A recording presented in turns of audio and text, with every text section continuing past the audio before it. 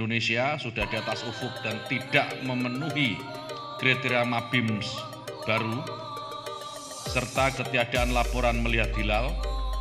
Tadi sidang isbat secara mufakat telah menetapkan satu Sawal 1444 Hijriah jatuh pada hari Sabtu tanggal 22 April 2023 Masehi.